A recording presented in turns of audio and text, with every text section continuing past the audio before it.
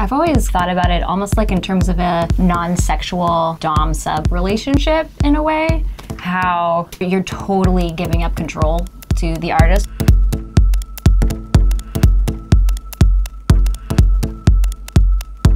It's like an offering, like a human sacrifice. They're willing to like give their bodies to the art and whatever happens in the end.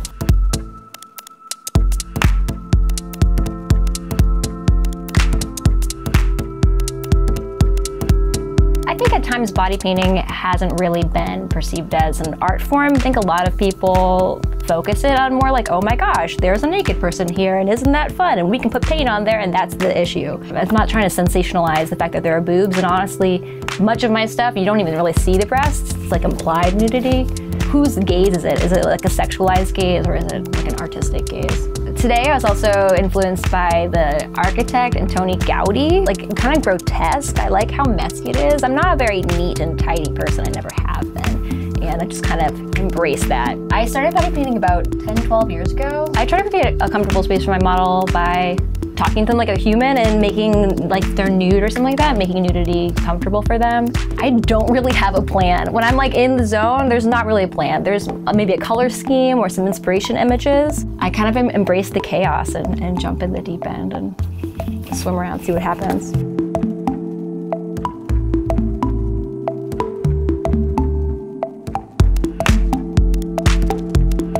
Lots of sugar, some challenges is that it melts with body heat, so you have to be aware of that.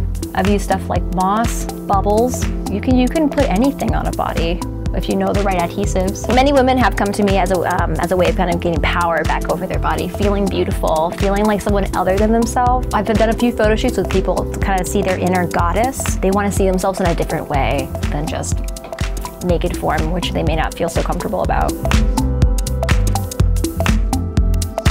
Feels great to be painted. You're not always made aware of the space between your shoulder blades or what it feels like to have someone else in your armpit. You're reminded of the fact that you have a physical body and it is this shape and it inhabits this space. A lot of guys like it.